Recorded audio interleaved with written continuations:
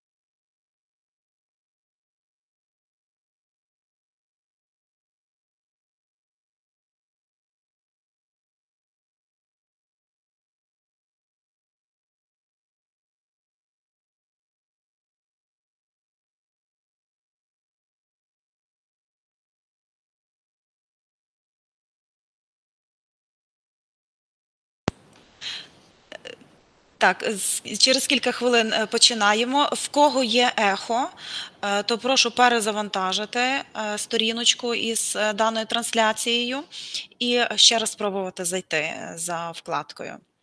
Що ж, мені приємно, що до нас приєдналися люди, яким цікава ця тема. Я думаю, що ми можемо почати.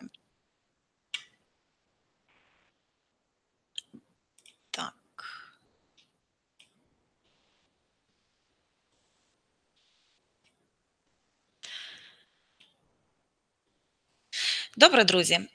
Отже, е, давайте я з вами привітаюся, познайомимося. Мене звати Наталія Жаманова, я адвокат, партнер адвокатського об'єднання Бачинські та партнери. Адвокат я вже 10 років, а взагалі у сфері юридичної практики я є з 2002 року.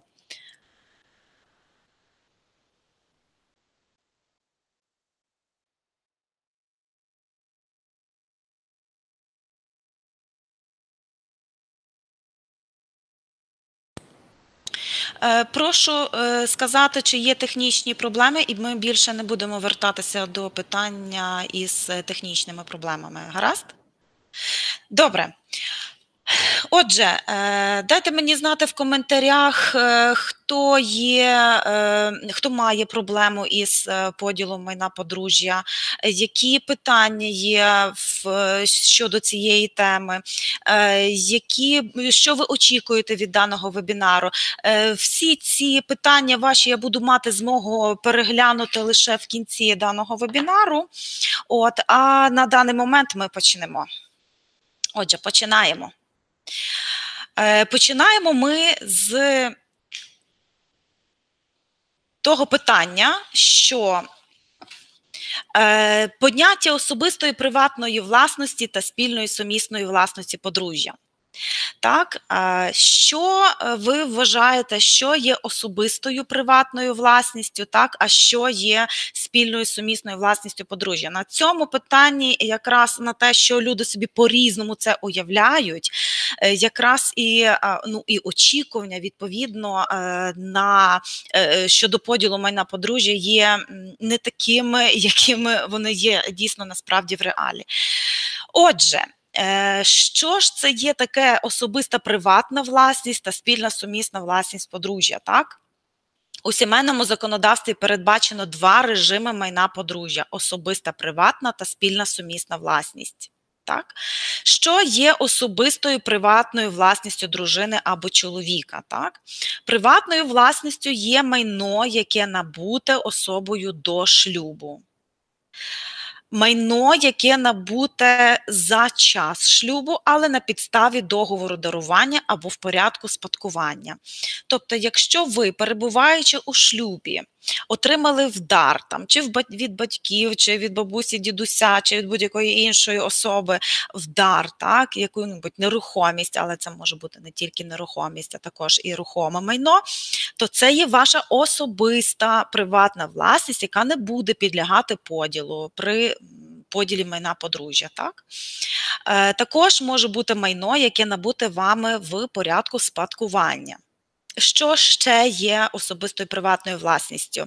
Це є майно, яке набуте за шлюбу, але за особисті кошти, тобто за кошти, які належали особі особисто. Ну, уявімо, так, ви е, продали квартиру, яку ви отримали в спадок отримали кошти, і ці, за ці кошти ви купили вже перебуваючи в шлюбі е, якусь, якесь нерухоме майно. Відповідно, це майно, якщо це було придбано за ваші особисті кошти, буде вашою особистою власністю. Що ще? Житло, яке набуте е, за час шлюбу, але внаслідок його приватизації. Ну, Відоме питання, так. Е, дуже багато випадків, е, коли ну, в 90-ті роки приватизовували квартиру. Ну, в основному ж в ці роки були. І, відповідно, це майно, яке приватизували люди за час цієї приватизації, є особистим приватним, приватним майном. Далі, земельна ділянка. Але ще щодо земельної ділянки будуть нюанси. Я вам згодом про це розповім. От земельна ділянка набута за час шлюбу внаслідок приватизації земельної ділянки є особистою приватною власністю. Також це є ще речі індивідуального користування, в тому числі коштовності, е, навіть якщо вони були придбані за рахунок спільних коштів подружжя. Так? Е, буває, що чоловік дуже хоче, ну там або або комусь з якомусь чоловікові пощастило, що дружина обдаровує його коштовностями. Так? Це є, Цей подарунок буде вважатися його вже особистою власністю. тому тому майте це на увазі. І другий з подружжя також має це оцінити, так, той, хто отримав це вдар. Також премії, нагороди. Які одержали за особисті заслуги, і кошти, які одержані як відшкодування е, за втрату речі, яка йому належала, а також е, як відшкодування завданої моральної шкоди. Також страхові суми це є особиста приватна власність, ну а то також дохід у вигляді дивідендів, які приносить річ, власником якої є один із подружжя. Скажіть, будь ласка, чи на е, цьому етапі є зрозумілим все? Поставте плюсики, кому все зрозуміло, що є особистою приватною власністю подружжя.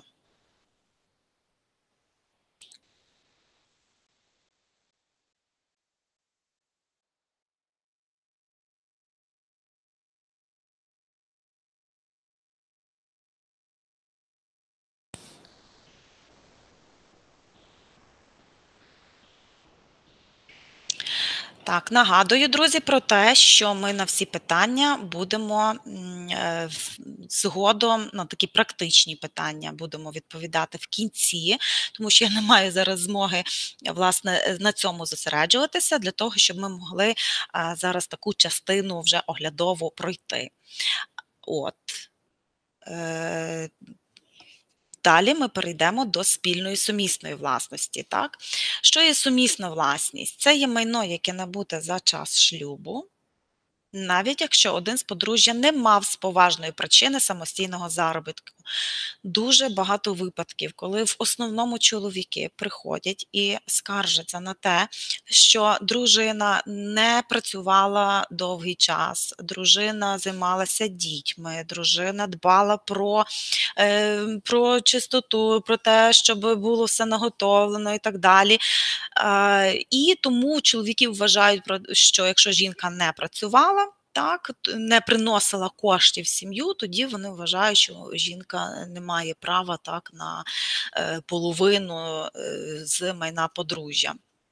І навіть якщо придбане одним з подружжя, так теж є помилкою, якщо договір е, купівлі-продажу, наприклад, е, оформлений на одного із подружжя, то це не означає, що тільки цей із подружжя є власником або має якісь більше права на це майно. Так, все одно це майно підлягає поділу, навіть якщо е, є ось такі обставини.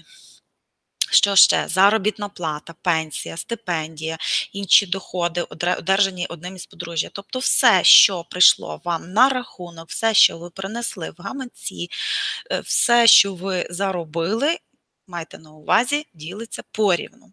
Так, це є спільна сумісна власність подружжя, тому повинні дружити із своєю другою половинкою, домовлятися, е, тому що сім'я ж без цього якраз і не існує.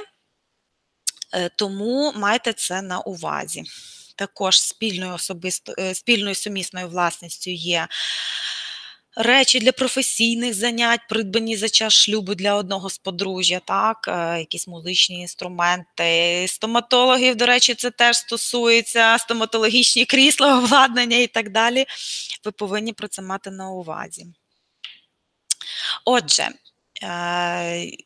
яким чином, якщо у вас є питання, як же ж розмежувати, яке майно є спільною сумісною власністю, і яке ж у вас е, майно є належить до особистої приватної власності, ви повинні поставити питання собі, звідки це майно у вас і який час придбання майна. За загальним правилом, майно, яке придбане під час шлюбу, є спільною сумісною власністю. Загальне правило є також е, таке, що е, майно за замовчуванням ділиться за принципом рівності часток. Є, звичайно, Моменти, коли е, від принципу рівності часток відступають, але це вже трошечки далі, можливо, ми зачепимо це питання. От, А зараз ми повернемося до нашої теми. Яким чином ми можемо поділити майно? Ми можемо поділити майно або в суді, або ми можемо домовитися, як же ж і кому що належиться. Е, Можливо, щоб ви розуміли, що е, поділити майно можна не тільки в судовому порядку.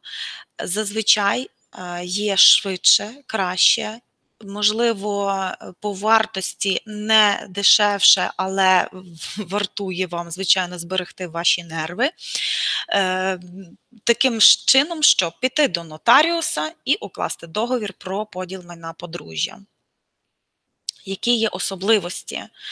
Ви домовляєтеся, е, яке майно кому відход... яке майно кому буде належати після укладення цього договору про поділ майна подружжя. Е, йдете до нотаріуса, берете свої всі документи, які стосуються того чи іншого майна, також автомобілі, також майнові права так можна поділити в нотаріуса, сплатите держмито в розмірі 1% від усього майна, Також оплатите послуги нотаріуса, можливо, також послуги адвоката, який вам правильно складе проект цього договору про поділ майна подружжя. Відбувається все швидко, нотаріус відразу вам зареєструє ваше право е, власності на те чи інше майно, і все. І ви собі не витрачаєте ваші нерви в суді, ви не витрачаєте кошти на адвоката. Е, так, з практики можу сказати, що е, судові спори можуть тривати так е, від півроку до трьох-чотирьох, а може бути і більше. І повірте мені, суди дуже виснажують. Тому що за такий тривалий час ви просто розумієте, що у вас на яку на фоні є якась справа, яка підлягає вирішенню, і вона триває роками. Це насправді дуже виснажує. В судовому порядку майно ділиться шляхом подання позовної заяви. Також сплачуєте судовий збір, це є 1% від суми вимог.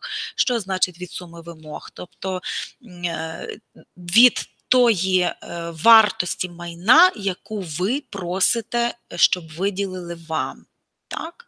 Зазвичай це є половина. Ну і також е, треба зважити на позовну давність. Отут я хотіла би трошки детальніше зупинитися, тому що помилкою є вважати, що позовна давність. Що таке позовна давність? Це є строк, впродовж якого ви можете звернутися до суду про захист своїх прав. Позовна давність встановлена 3 роки, але з якого моменту ми маємо рахувати ці 3 роки? Ні, не віддати розлучення, ні від не віддати набрання законної сили, рішення суду про розірвання шлюбу. Позовна давність рахується від моменту, коли особа дізналася або повинна була дізнатися про порушення її прав. Умовно кажучи, ви розлучилися, отримали рішення суду, живете нарізно, користуєтеся майном, як і користувалися, хтось пішов із сім'ї, хтось залишився в спільній квартирі, всіх все влаштовує. Е, якщо ви, наприклад, через там 5 років дізналися про те, що інша особа продала автомобіль спільний, так? Ну, тому що навряд чи продадуть е, майно без вашої згоди нерухоме, тому що потрібно все одно нотаріус повинна взяти згоду іншого з подружжя.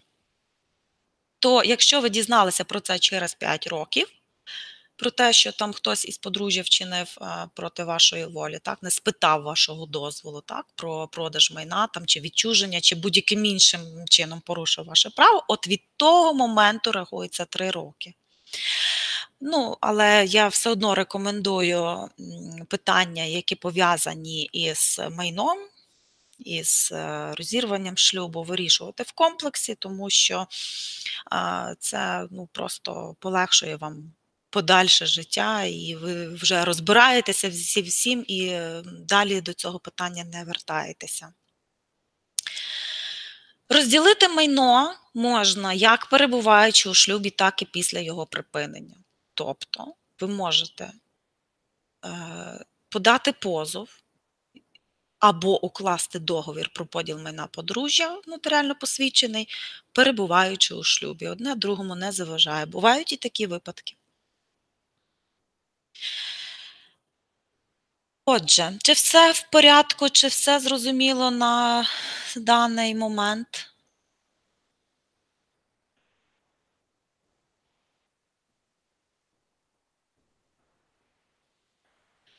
Ніяких технічних проблем немає, все добре, не переривається трансляція, мене чути добре. Добре, тоді е, ми можемо рухатися далі. Як ділити неподільні речі? Я думаю, що багато хто із вас е, таким питанням задавався. Як же ж поділити цей автомобіль, чи його порівно розпиляти, як чи вздовж і в, чи впоперек, і як ділити ці дивани? Звичайно, це вже це все жарт. Е, такі речі можна поділити шляхом грошової компенсації.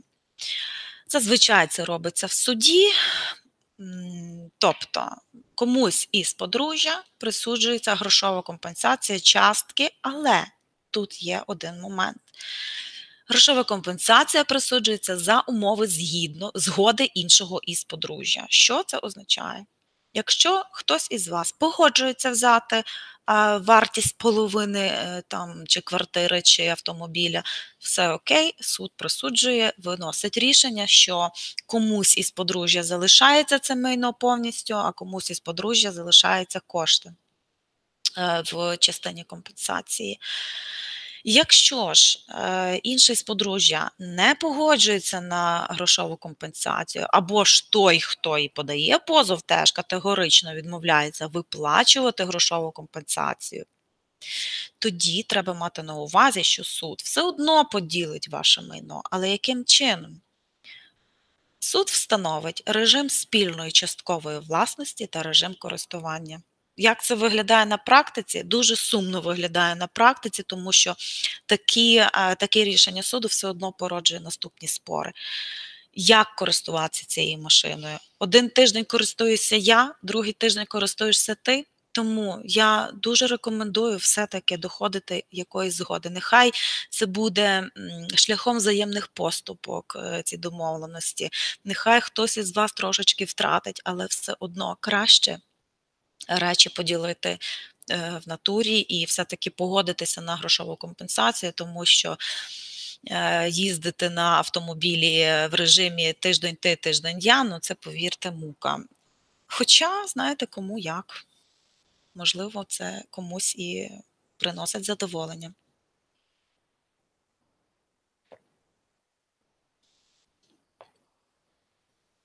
Рухаємося далі. Найчастіше питання, так. Ніби все в порядку, ніби все добре, якщо е, немає ніяких грошових зобов'язань по нерухомому майну, так? Як то кажуть, не дай Боже, ділити якісь кредити. Отже, як ділити майно, яке придбане до шлюбу в кредит? Ви взяли кредит через півроку одружилися. Так? Кредит ви вже взяли і живете вже в тому, в, то, в тій квартирі, яку ви взяли в іпотеку. Чомусь люди вважають, що якщо вони оформили право власності і оформили кредит до шлюбу, то вони вважають, що ця квартира є вже їхня. Ну, тут є помилка. Чому? Тому що кошти ж в рахунок погашення кредиту сплачується зі спільного бюджету. Тому треба мати на увазі, що ем, е, під час поділу цієї іпотечної квартири е, ви повинні будете враховувати, що ця частина квартири в грошовому еквіваленті, яка була сплачена до шлюбу, до реєстрації шлюбу, це є ваша особиста приватна власність. Всі ці кошти, які були сплачені під час шлюбу, в рахунок погашення кредиту, є спільною сумісною власністю подружжя. І тому ваші очікування треба трошечки е, коригувати, враховуючи дану обставину. так? Тобто, Е, якщо кредит був оформлений одним із подружжя до укладення шлюбу, а зобов'язання за ними виконувалося за рахунок спільних грошових коштів подружжя, я ще раз наголошую на це. Е, отриманих під час перебування в шлюбі, то в такій ситуації той з подружжя, хто вніс вклад у виконання кредитних зобов'язань іншого з подружжя, має право на отримання грошової компенсації. Розмір компенсації Е, визначає суд е, в розмірі, який реально відповідає здійсненому грошовому вкладу. В іншій ситуації, коли кредит був оформлений одним з подружжя до укладення шлюбу, а зобов'язання за ним виконувалися за рахунок особистих грошових коштів е, того з подружжя, на кого він був оформлений, то таке майно буде вважатися його особистою приватною власністю. Складно? Що це означає? Це означає, що в подібних випадках суд має обов'язково встановити за рахунок чиїх коштів здійснювалося погашення взятого кредиту. На практиці це є предметом розгляду спору, і це є дуже складний процес і вимагає ґрунтової доказової бази. Раджу зберігати всі чеки, виписки з рахунків і так далі.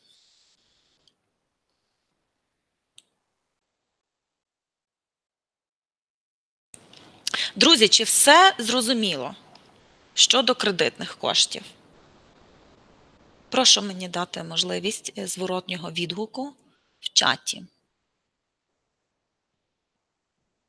Мене чути? Це в порядку, так? Перейдемо до новобудов.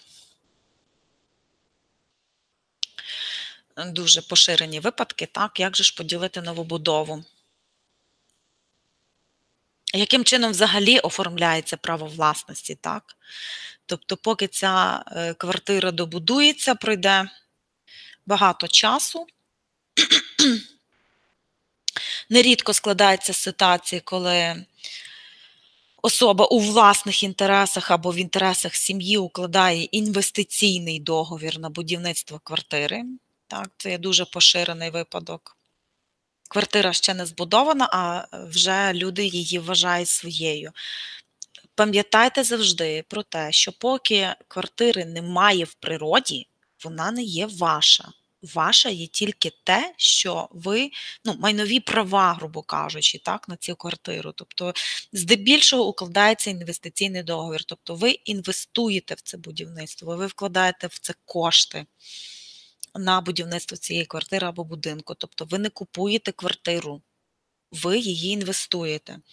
До моменту закінчення будівництва і належного оформлення права власності на таку квартиру ви маєте лише сукупність прав та обов'язків за інвестиційним договором. Я наголошую на цьому, пам'ятайте про це, будь ласка. Якщо такий договір було укладено в шлюбі, і на момент розгляду справи про поділ майна подружжя, будівництво, якщо такої квартири ще не закінчилося, то поділ такого нерухомого майна майна неможливий. Відповідно, при розірванні шлюбу та поділі спільного майна подружжя виникає проблема поділу прав та обов'язків за інвестиційним договором. Найцінніше з яких є право на отримання в майбутньому збудованої квартири або будинку. Ось таким чином буде формулюватися позовні вимоги. Що буде предметом поділу в такому разі? Предметом поділу будуть майнові права та обов'язки, які виникають з інвестиційного договору. Поділ цих прав, яким чином відбувається, може бути здійснено шляхом внесення відповідних змін до інвестиційного договору. Такий спір, як правило, вирішується е, або правильне вирішення такого спору ускладнюється тією обставиною, що на момент розірвання шлюбу грошові зобов'язання за таким договором вже можуть бути виконані лише частково. Як свідчить судова практика, визначення частки права власності подружжя в новобудові здійснюється відповідно до часток вкладу у зведення будівлі в період шлюбу. Сам по собі факт оформлення права власності на новобудову в період шлюбу не є безумовною підставою для віднесення такого майна до об'єктів права спільної сумісної власності подружжя. У новобудові все зрозуміло, хто купував квартиру недавно, хто укладав інвестиційний договір. Є тут такі в чаті? Хто задається питанням, що ж буде з моєю квартирою в подальшому? Дайте мені, будь ласка, знати.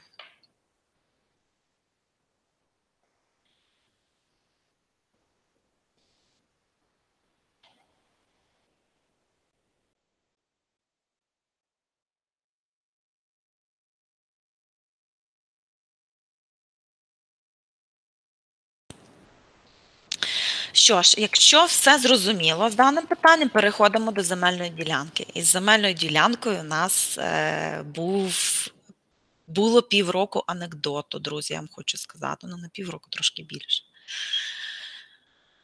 Був у нас період часу, з 8 лютого 2011 року по червень 2012 року, ну півтора роки, так, е, коли приватизована земельна ділянка е, вважалася спільною сумісною власністю.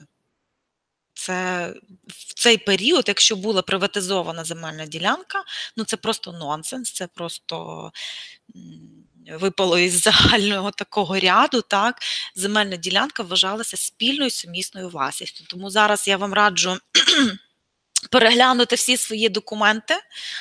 Е, для того, щоб е, перевірити, а чи справді у вас е, земельна ділянка, якщо вона у вас є і була приватизована в цей період, чи справді вона є вашою особистою власністю. Так? В період до 8 лютого 2011 року це була спільна сумісна власність, і також.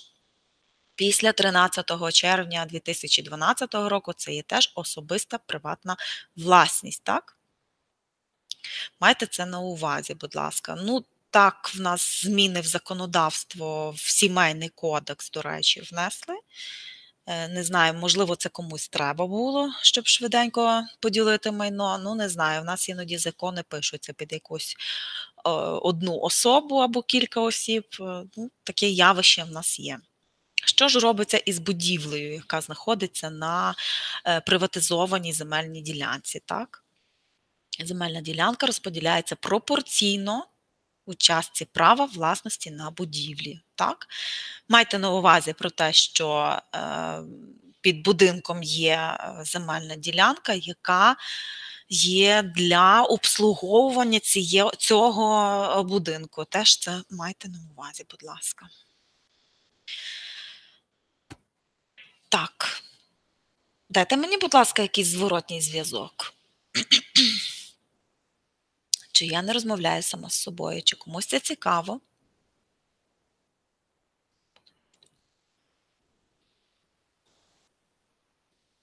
Якщо квартира була куплена частково за кошти, Микола, я обов'язково вам відповім на ваші питання. Дякую за ваше питання. Дочекайтеся, будь ласка, до закінчення е, вебінару. Залишилося із е, такої оглядової частини зовсім трішки.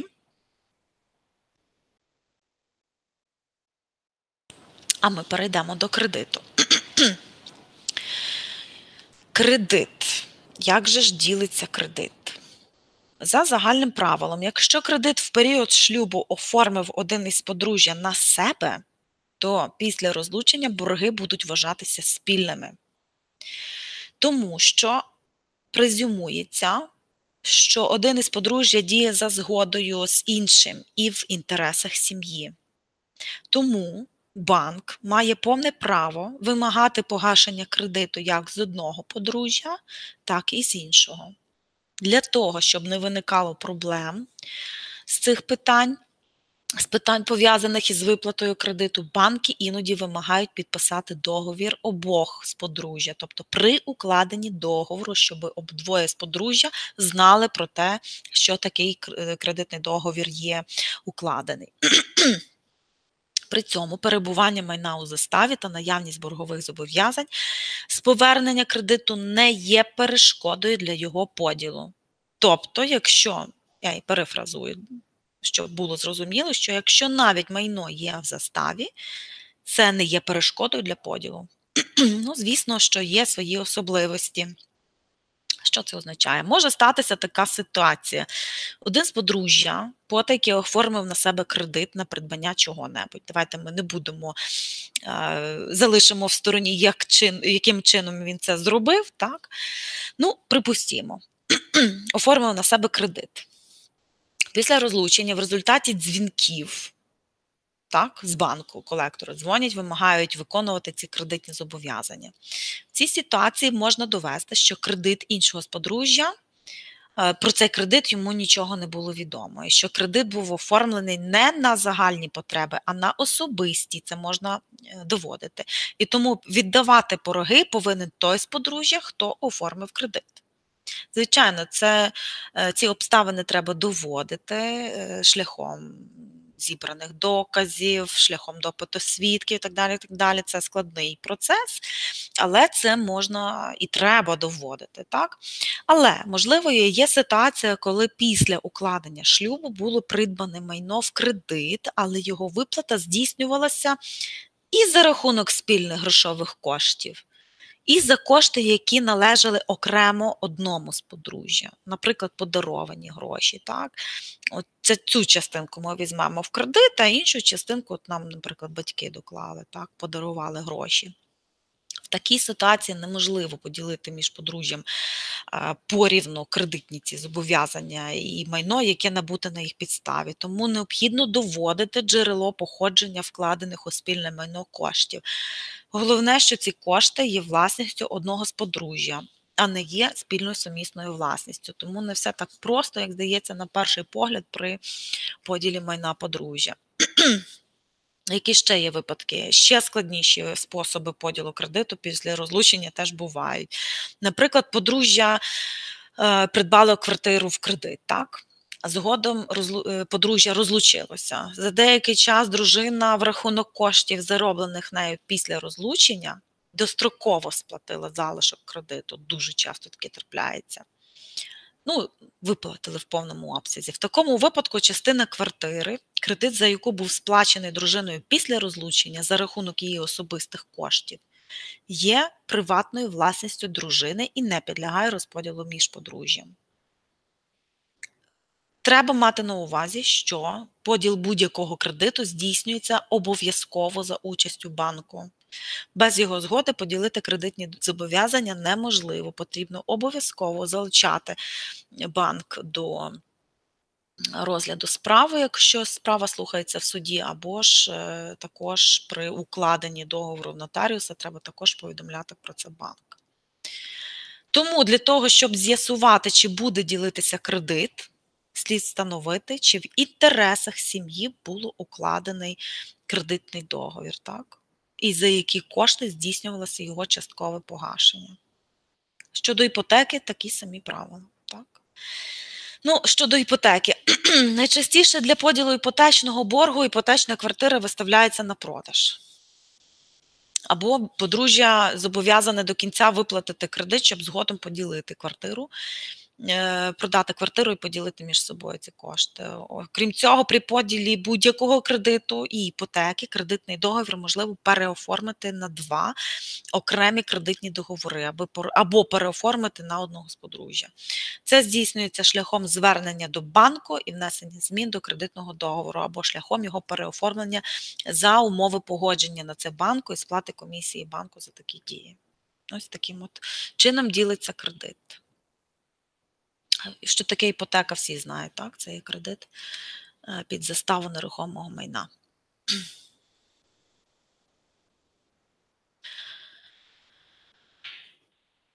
Як у нас справи?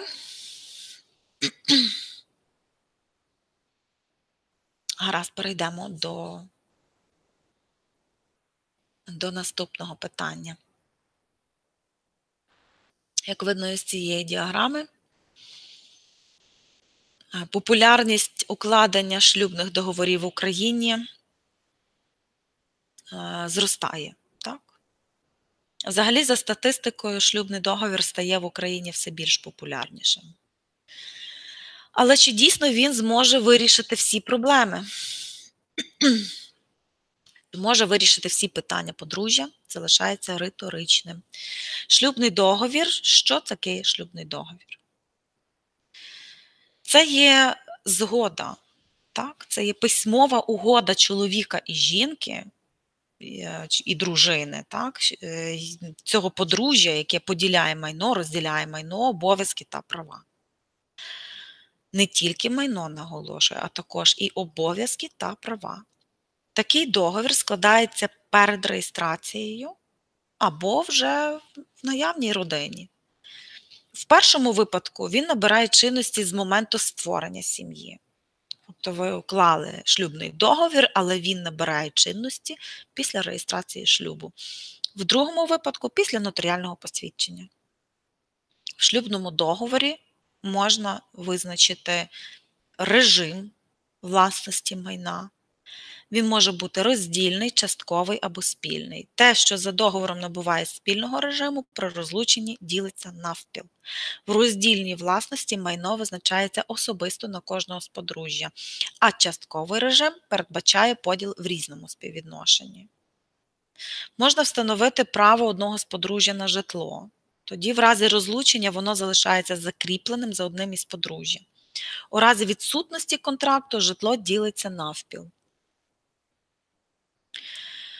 Що ще може е, вам стати в нагоді е, при укладенні шлюбного договору? Можна описати частину заробітної плати, яка в разі розлучення може служити компенсацією для однієї сторін. Це болюче питання мезальянсів. Так, от я заробляю більше, а ти менше, і тому ти не не, не заслуговуєш так на, на, на половину майна.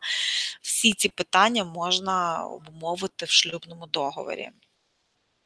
Також шлюбний договір має право захистити матеріально при зраді. При подружній невірності постраждала сторона може розраховувати на певну матеріальну компенсацію. Е, також можна описати долю подарунків, які за законом належать тому, хто їх дарував, так? кому їх дарували. Такий вид відносин також ем, дає гарантію, що подаровані предмети розкоші не повертаються. Так? Ну, е, Це ми вже з вами частково зачіпали.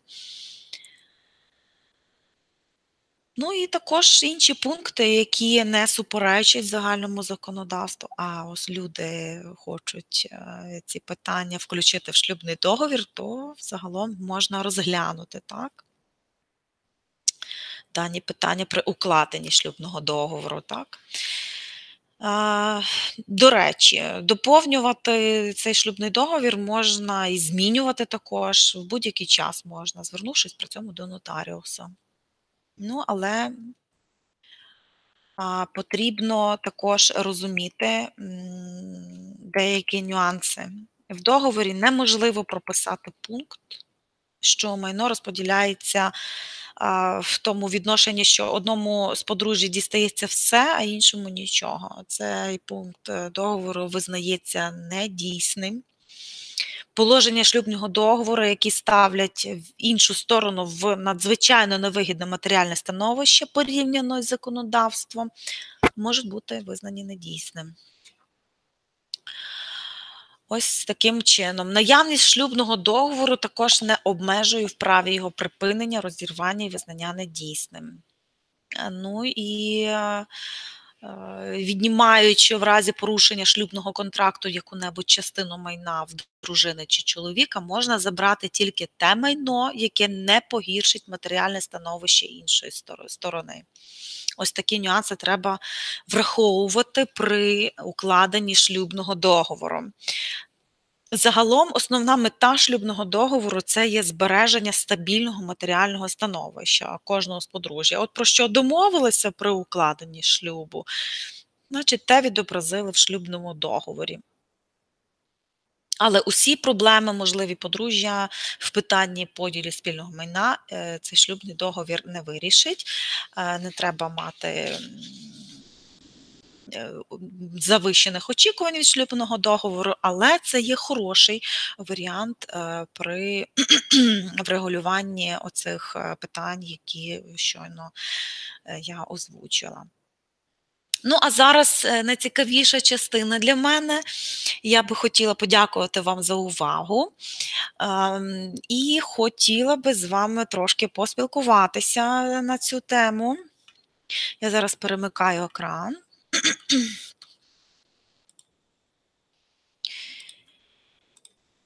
Зараз мене буде видно.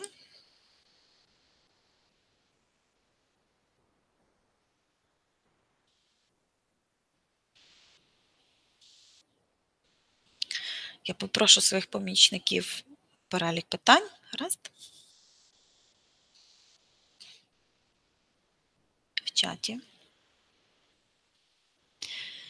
Дякую, чудовий проект. Цікаво, якщо майно було придбано до шлюбу, чи має на нього право друга половина. Є нюанси, я вам, Оксано, про це розповіла.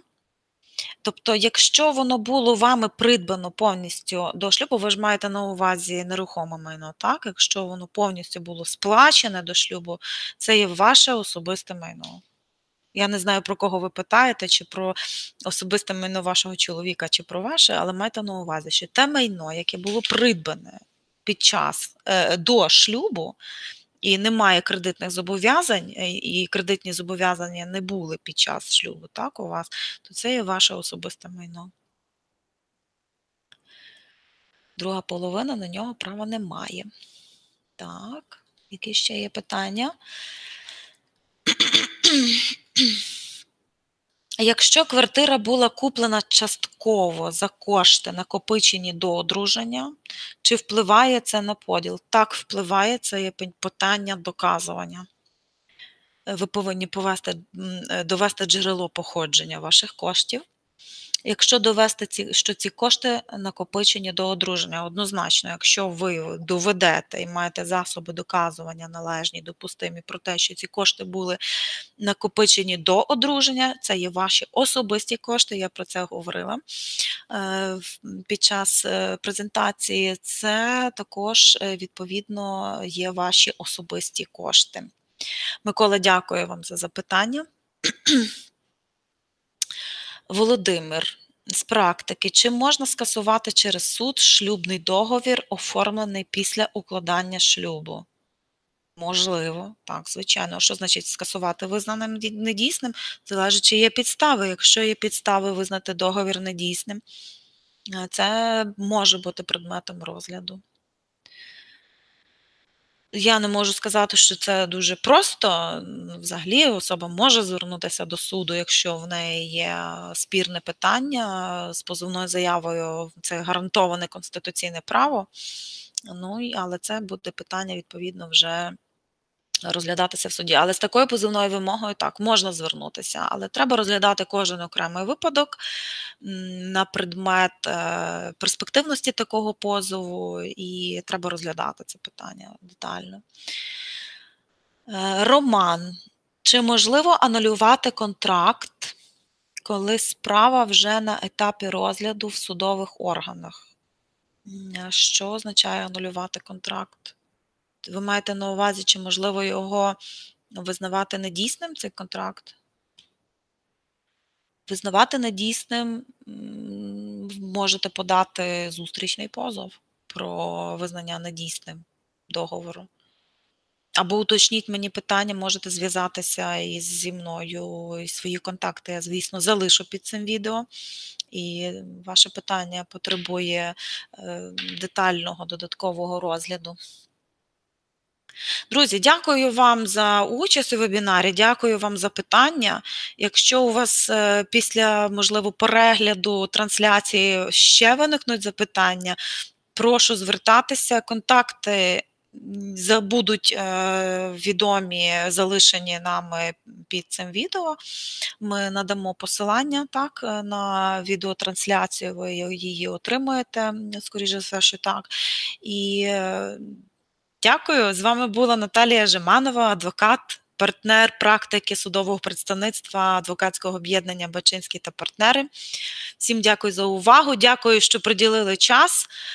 Е, бажаю, щоб у вас не було таких проблем з приводу поділу майна, щоб у вас, якщо якщо навіть такі проблеми є, щоб ви їх вирішили мирно, швидко е, і шляхом укладення договору в нотаріуса. А взагалі я вам бажаю мирної сім'ї і щоб у вас не було нагоди звертатися до адвокатів із таких питань. Ну, але якщо у вас такі питання виникають, я радо допоможу вам е, з цього приводу і спробуємо розібратися разом. Дякую за увагу, до побачення, гарного, приємного вечора.